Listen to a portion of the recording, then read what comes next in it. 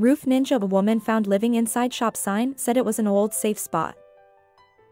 A woman who was living inside a sign on the roof of a Michigan supermarket told police officers who found her it was an old safe spot.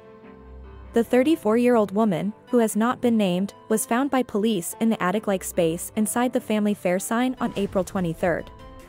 The woman had been living there for over a year and had a coffee maker, computer, bedding, phone and even a printer with her, police said.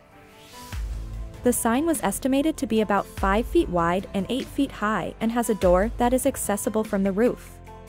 Asked how she found the space, she said it was an old safe spot that was known to her family and secret to most others.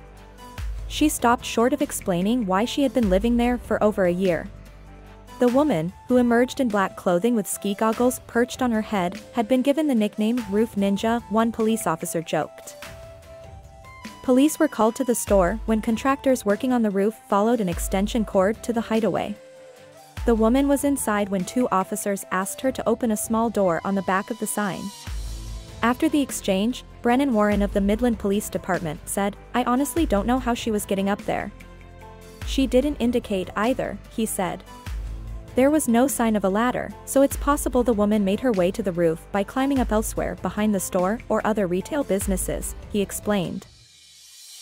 The woman told police she had a job elsewhere and asked to call her employer and get a truck to put her belongings in storage, but the officers said no, making clear that store staff would remove the possessions and return them to her. There was some flooring that was laid down. A mini desk. Her clothing. A Keurig coffee maker. A printer and a computer, things you'd have in your home, Officer Warren added. The woman was able to get electricity through a power cord plugged into an outlet on the roof, he said. Police said the woman was cooperative and quickly agreed to leave. No charges were pursued and she was provided with information about local services in the area. She apologized and continued on her way, Mr. Warren said. Where she went from there, I don't know, a spokesperson for SpartanNash, the parent company of Family Fare, said store employees responded with the utmost compassion and professionalism.